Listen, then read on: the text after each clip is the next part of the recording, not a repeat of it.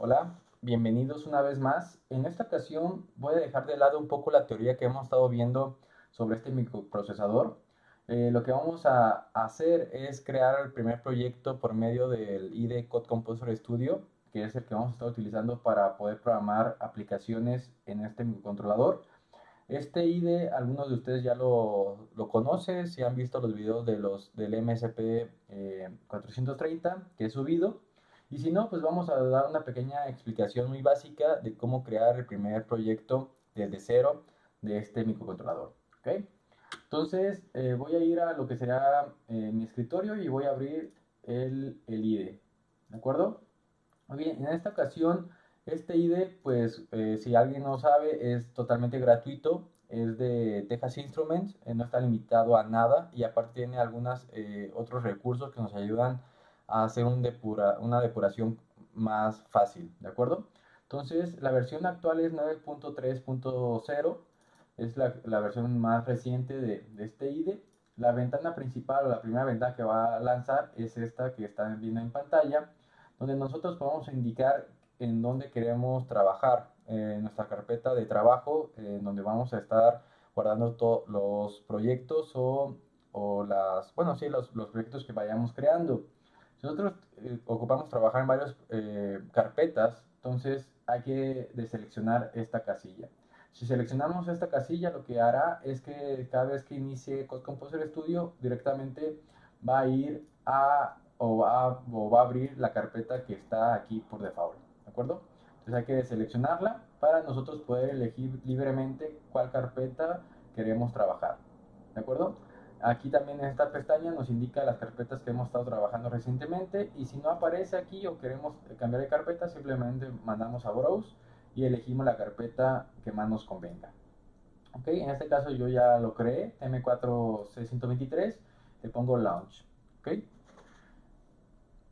Bien, eh, aquí está la pestaña inicial de nuestro software. Aquí en App Center, si, no saben, si lo cierran y no saben cómo abrirlo, simplemente en Help hay una pestaña llamada CSS App Center. Okay, aquí hay unas, eh, unos software que no están embebidos en Code Composer Studio, como estos. Eh, de aquí lo único que tienen que saber es que TivaWare es el software que nosotros podemos utilizar para nosotros hacer un desarrollo mucho más rápido para nuestros, eh, nuestra familia TivaC.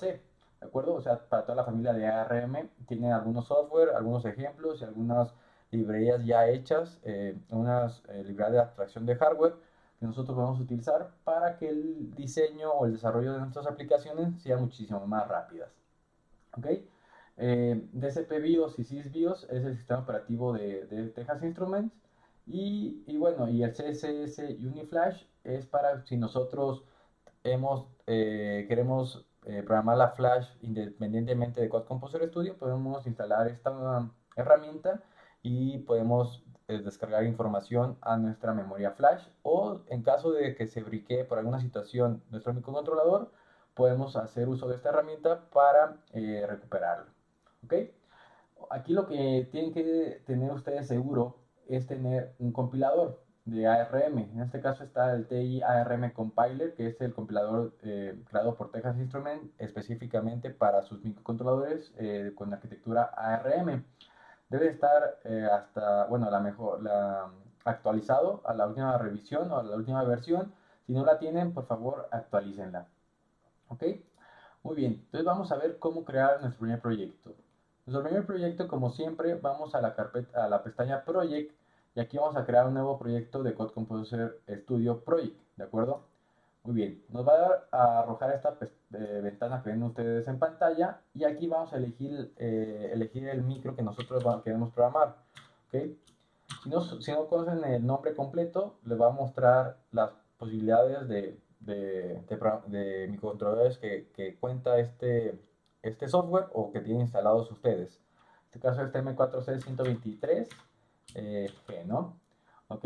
En este caso es el GH6PM, si tuvieran otro micro lo pueden elegir sin ningún problema. Yo lo elijo y su conexión, ¿ok? Si, usted, si ustedes están utilizando la Launchpad que hemos estado viendo en, en, en nuestros videos, la conexión es la siguiente, es de es Stellaris In Circuit Debug Interface, ¿ok? es Stellaris In-Circuit. Ese es el depurador que tiene incorporado el Launchpad. ¿De acuerdo? Si ustedes tuvieran un depurador externo como eh, eh J-Link o algún otro como uno propio de Texas, pues simplemente lo eligen. ¿De acuerdo? En este caso nosotros es Stellaris In-Circuit Debug Interface. Bien, el nombre del proyecto, en este caso yo le, voy, eh, le pueden poner el nombre que ustedes gusten. Eh, TM4C123 Hello World. ¿Ok? Ese sería nuestro primer proyecto. ¿De acuerdo? Bien, eh, la versión del compilador, obviamente hay que elegir la más reciente. Si tienen el GNU y quieren ustedes utilizar el GNU, también lo pueden utilizar sin ningún problema. En este caso yo voy a elegir la más reciente, que es la 19.60 STS. ¿Ok? Muy bien. Si no apareciera aquí su compilador y ustedes quieren utilizar alguno otro porque saben trabajar con ese, simplemente ponen more y lo tienen que agregar. ¿De acuerdo? Muy bien. Entonces pueden cancelar y simplemente aquí usan, si quieren guardarlo en, en una localidad diferente a la cual, al su workspace que eligieron por default, pues simplemente eh, lo eligen. En este caso yo lo quiero guardar en, en, el workspace que yo elegí al momento que de, cuando cargué el, el, Code Composer, entonces simplemente habilito la casilla. ¿Ok? Muy bien. En, en el toolchain, pues simplemente nos dice eh, qué tipo de, de salida nos va a entregar cuando nosotros compilemos o construyamos el, el proyecto. Existen ese tipo de, de situaciones. Nosotros vamos a, a, obtener un ejecutable para poderlo cargar al sistema. El output eh, format, bueno, eh, Texas Instrument tiene dos tipos de formato, el COF y el ELF. ¿ok? El COF ya no se utiliza y esto más que nada es para el archivo de linkeo de la memoria, ¿de acuerdo? Entonces nosotros vamos a utilizar el EAVI eh, o ELF. ¿De acuerdo? Y bueno, el endianness, endianness de nuestro microcontrolador. Este micro en su hoja de datos nos, indica que siempre va a utilizar libre endian. Entonces simplemente le ponemos aquí libre endian. Eh, no podemos utilizar ninguno de los otros porque eh, quién sabe cómo funcione, incluso no lo podemos eh, dañar o no, bueno, simplemente no, lo no va a poder ejecutar la, el código que nosotros vamos a ingresarle. ¿De acuerdo? Muy bien, si aquí queremos algún comando de linkeo en específico, pues lo podemos eh, indicar, ¿de acuerdo? Este, esto simplemente, si nosotros no lo tenemos en el proyecto, pues lo manda a llamar, ¿ok? Entonces, eh, en toolchain sería todo. Y el proyecto como tal, nosotros tenemos varias, varias eh, modalidades. SysBIOS, que es el, el sistema operativo de Texas Instrument, lo podemos elegir, en este caso no vamos a elegir, podemos ah, elegir un ejemplo básico de, de, este micro, tampoco lo vamos a elegir. Lo que vamos a elegir simplemente es un proyecto vacío con un main C, ¿ok? Entonces vamos a programar con C, eh, con C embebido, ¿bien? Y es todo lo que nosotros necesitamos. Al finalizar vamos a poner el finish y va a crear una nueva carpeta en su, en su lado izquierdo. ¿okay? ¿Qué, ¿Qué, va a contener esta, esta carpeta? Pues realmente solamente va a contener tres archivos eh, principales. El main.c que va a estar simplemente con su función main, que es a donde va a saltar al momento que, que haga su bootloader, que inicie el programa. Va a tener un punto C. Este punto C lo que nos va a indicar es hacia dónde va a saltar cuando inicialice todo después de su, en su vector de reset y va a crear algunas em, unas manejadores de interrupción por default, ¿de acuerdo? Bien, incluye la, la famosa stdin para nosotros eh, tener un estándar de los, del tipo de variable y nosotros no estar confundiendo sobre un int, si es 16 bits, 32 bits, eh, etcétera. Entonces vamos a siempre utilizar lo que sería el stdin. Bien. Entonces, ¿aquí qué pasa? Bien, aquí lo que hacemos es que vamos a, a poner la, eh, la, el siguiente vector en lo que sería en la sección de vectores, ¿ok? Esta sección de vectores nosotros la podemos modificar en lo que sería en su archivo de linkeo, pero aquí simplemente le indicamos hacia dónde va a saltar cada vez que nosotros eh, o cada vez que eh, se detecte una interrupción o una excepción del sistema, ¿de acuerdo? Entonces, la primera, el primer vector, la primera posición, en la posición 0, siempre va a ser el stack pointer, ¿bien? Entonces aquí por eso tenemos el stack pointer. Después vamos al siguiente punto del vector, este reset, o sea en la dirección 4. Y de ahí en fuera, pues vienen los demás eh, interrupciones del sistema. tanto sus interrupciones o excepciones, que no lo hemos visto hasta el momento, como las, las interrupciones tal cual de nuestro sistema eh, o de nuestros periféricos. ¿okay? Muy bien, por default vienen algunas cosas que nosotros podemos este, modificar. El microcontrolador al inicio, cuando, cuando ah, detecta un reset, ya sea por board, por port o un software reset, siempre va a, ingresar al vector de interrupción de reset, ¿de acuerdo? Entonces, en, su vector de interrupción de reset, lo único que vamos a hacer es que vamos a llamar lo que sería el cint00. Vamos a saltar hacia esta dirección. Y esa dirección es el, el main.c, que está definido en este punto. ¿okay? Esto se conoce como el main.c, eh, que es este, bueno, realmente este esta función contiene más cosas, pero al finalizar, lo único que nos interesa hasta este punto es que nos va a, nos va a mandar a lo que sería el main.c. ¿De acuerdo? Si tenemos eh, posibilidad, vamos a ver qué, qué hace en el bootloader después, pero lo interesante, lo que tienen que saber es que esta función, lo principal que contiene es que nos manda al main.c. Entonces, en el reset, siempre lo que vamos a hacer es mandar, vamos a mandar a llamar a esta función que es externa, que está embebida. Este, después lo vamos a ver qué es, qué es todo lo que hace. Pero eh, al finalizar toda esa secuencia inicial, nos va a mandar al main.c.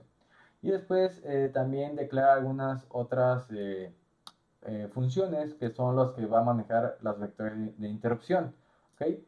no, la interrupción no enmascarable, el foul reset o el, hard foul eh, excepción de hard foul, que va a caer aquí todas las excepciones que no estén inicializadas o no estén habilitadas. Y eh, aquí van a caer todas las interrupciones que se habilitan, si no se cambia el nombre en este vector. ¿Ok? Muy bien. Esto a lo mejor ahorita no queda tan claro, pero vamos a ver poco a poco cuando eh, utilizamos interrupciones que vamos a estar cambiando el nombre de estos manejadores al manejador que va a utilizar nuestro nuestra interrupción. ¿De acuerdo?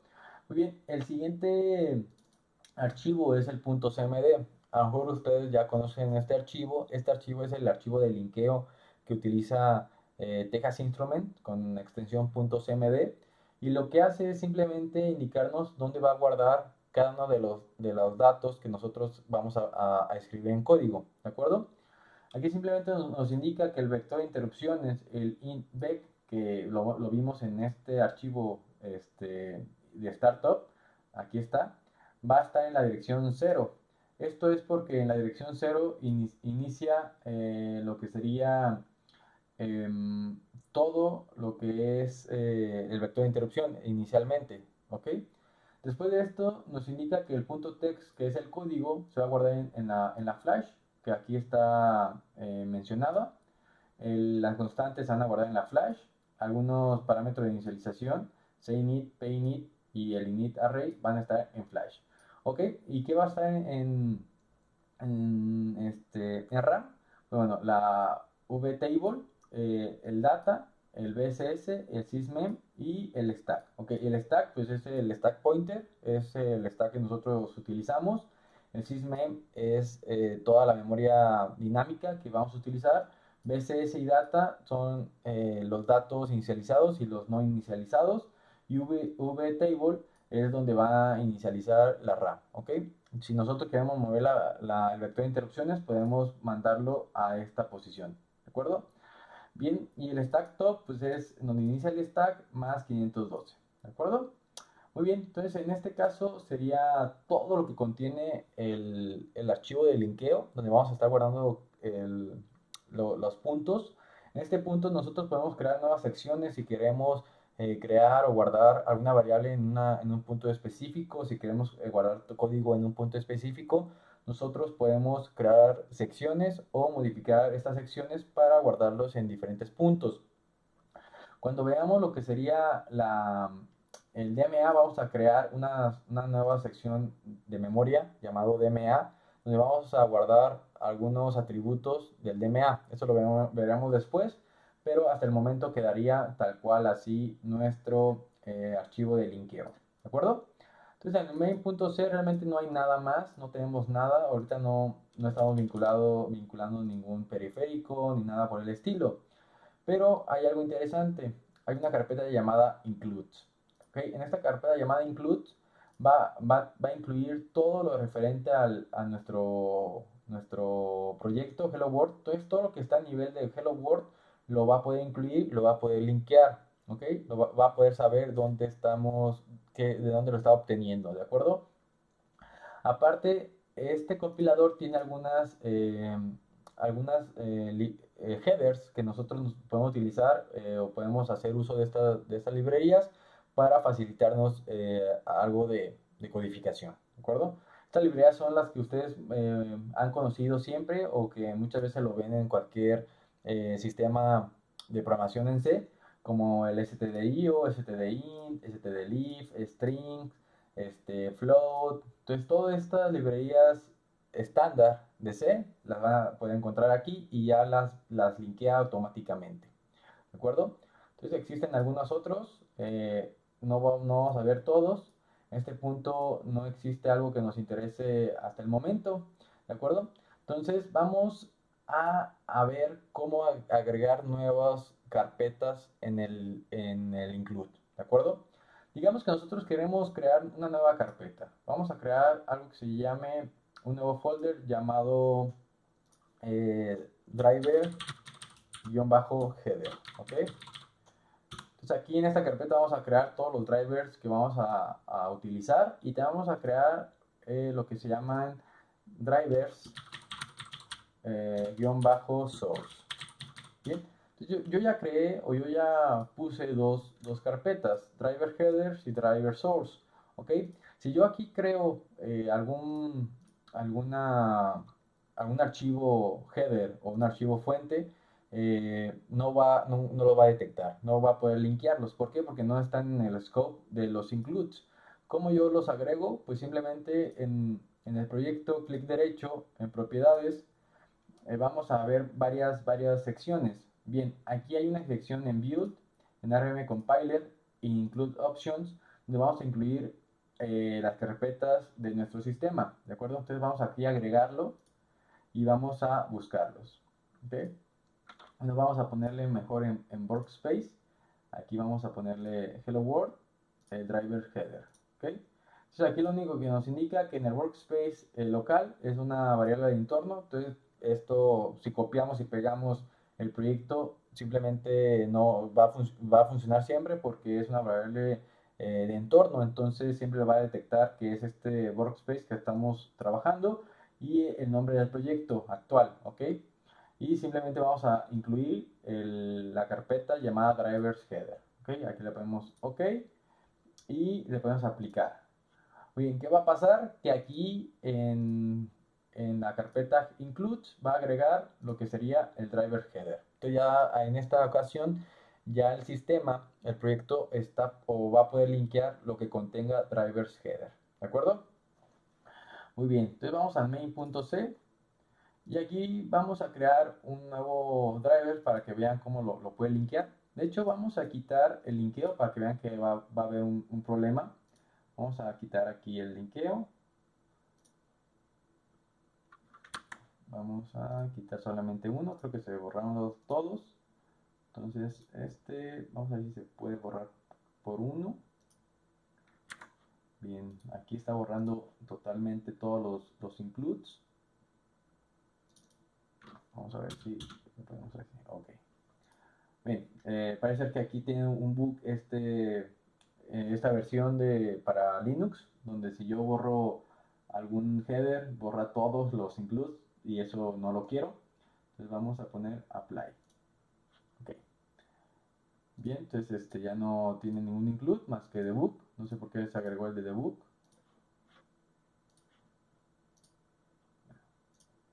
Ok, perfecto. Entonces ahorita está incluyendo la, carpeta drivers header. Entonces yo voy a crear aquí un, un header llamado example.h. Simplemente va a ser un ejemplo ¿De acuerdo? Aquí vamos a crear una definición. Eh, vamos a crear, a lo mejor, bueno, vamos a crear más bien una función, ¿no? Un void, este, example va a regresar nada y este dummy, ¿no? Perfecto. ¿Y qué va a hacer esta función? Vamos a crear una fuente, un source. Vamos a poner example, example.c. Muy bien, y aquí vamos a crear lo que sería nuestra función dummy. Y vamos a incluir nuestro ejemplo, ¿de acuerdo? Bien, en nuestra carpeta dummy vamos a crear un int i igual a 0. Vamos a hacer un for, un for de i igual a 0 a i menor a, a 1000 y vamos a ponerle i más más. Como si fuera un pequeño retardo. Entonces, eh, en este caso ya, ya creé la, la, función. Voy a mi main ¿Y qué voy a agregar? Pues voy a agregar mi, mi archivo example, ¿ok? Muy bien, y simplemente voy a mandar llamar la función que he creado ahí mismo. Muy bien. Vamos a ver si lo puede compilar. Ok, aquí ya nos indicó que hay tres errores donde no puede abrir la carpeta, bueno, la fuente example.h porque no la encuentra. Esto es porque en los includes no puede ver la carpeta driver. Entonces vamos a agregar la carpeta driver, propiedades, agrego este en mi workspace, hello world y driver header, ¿ok? Le pongo OK, aplico y cierro. Entonces ya aquí ya tengo mi driver header, entonces voy a volver a compilar y en esta ocasión sí debe de eh, encontrar la carpeta, bueno, la fuente. Vamos a compilar. Bien, entonces ya en este punto ya compiló correctamente, ya no hay errores de compilación, ya encontró todas las referencias necesarias. Entonces así vamos a estar incluyendo las nuevas carpetas que vayamos creando en nuestro sistema. Eh, vuelvo a repetir cómo es, clic derecho, propiedades, en Build, RM Compiler y aquí hay Include Options, ¿ok? Muy bien, entonces con este punto ya hemos creado nuestro primer este, programa. Otro, otro punto interesante es que nosotros vamos a agregar o vamos a estar trabajando con algunas em, cosas intrínsecas de nuestro sistema, de nuestro microcontrolador. Eh, no sé si recuerden en los, en los videos anteriores, yo siempre les he dicho que, que los micros a veces incorporan funcionalidades que en C no están eh, incorporadas. ¿ok? Esto se les conoce como intrinsics. Son cosas propias del micro que no puede transferirse a C. Entonces hay que crear algunas eh, interfaces o algunas funciones para poder nosotros utilizarlas de una forma más directa, sin necesidad de utilizar ensamblador tal cual. Entonces, para eso vamos a agregar eh, una nueva, bueno, una nueva carpeta, ¿sí? Una nueva carpeta con algunas funciones intrínsecas. Esto se llama, o está contenido en una carpeta llamada CMSIS, CMSIS, ¿ok? A lo mejor algunos de ustedes que han trabajado con RM lo han escuchado. Entonces igual en Include Options vamos a agregar una nueva carpeta. Aquí sí vamos a ir a Browse. Nos vamos a ir a lo que sería eh, donde tengamos nosotros nuestro Code Composer Studio, ¿ok? Aquí en Code Composer Studio 930 es la versión que yo tengo. Aquí en CSS. Y aquí por aquí vamos a buscar algo que se llama CMSIS. Ok, vamos a ver dónde está. Aquí en CSS-base. Y vamos a buscar ARM. Vamos a buscar include. Y vamos a ver si aquí está. Bueno, aquí no está. Entonces vamos a regresarnos. A ver si en Tiva, tampoco está. Vamos a ver si por aquí vemos lo que necesitamos nosotros.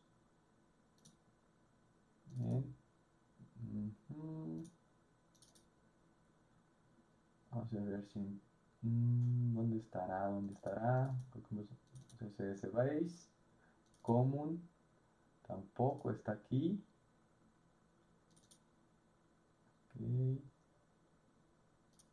Híjole, ¿dónde estará eso? Eso es muy importante porque ahí vienen las cosas necesarias de ARM. Include. No, aquí no está. Aquí son, las, son los, los startup y los MDs, o sea, los, archivos de linkeo. Lo cual ahorita no me interesan.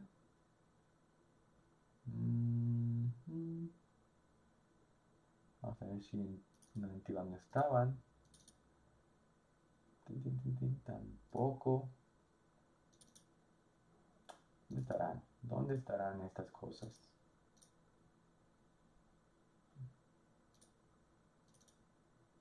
Utils, no.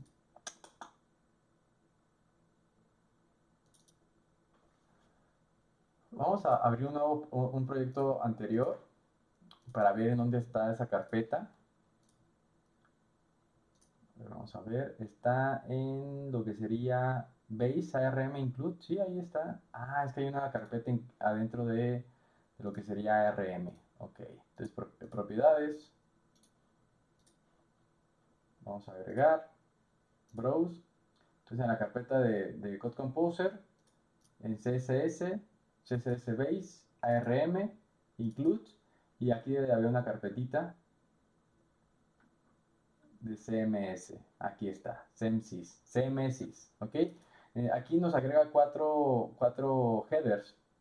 Y vamos a ponerle OK, OK y aplicar.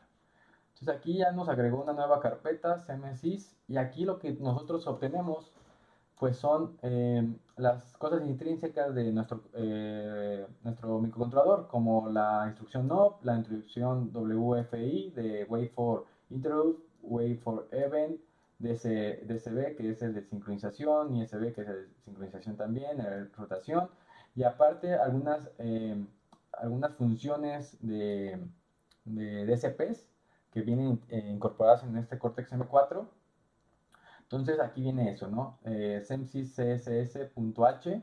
En el semsys compiler simplemente vienen unas definiciones para nosotros eh, aligerar o disminuir eh, algunos alineamientos como static inline, algunos atributos, etcétera. Aquí nos lo redefine. En semsys-gcc de igual forma redefine algunas cosas y aparte aquí podemos utilizar directamente algunos algunas funciones para habilitar interrupciones, para cambiar el puntero de nuestro main stack, de nuestro process stack, o algunos otros em, registros internos de nuestro microcontrolador. Entonces aquí habilitamos interrupciones, deshabilitamos interrupciones, obtenemos el valor de nuestro registro de control, que es muy importante. Ah, obtenemos nuestro registro de control, el IPSR, perdón, nuestro registro de estado, el APSR, el XPSR, el completo, el, Process Stack Pointer, el Get eh, Main Stack Pointer, también el Set Main Stack Pointer, y así, ¿no? Entonces aquí nos ayuda bastante para estas, estas cosas que son muy utilizadas eh, de forma más, más a bajo nivel, nos lo permite manipular fácilmente. En Core CM4 simplemente vienen algunas definiciones de algunos periféricos eh, incorporados, ¿ok? En este caso, los periféricos que, tiene el core eh, de, este, de este núcleo, de este Cortex M4, ¿de acuerdo? Bien, entonces esto sería todo por el momento. En este video sería todo esta explicación de lo que sería nuestro inicio de, proyecto, ¿de acuerdo? Entonces, si tienen alguna duda, no duden en contactarme y nos estamos viendo a la siguiente.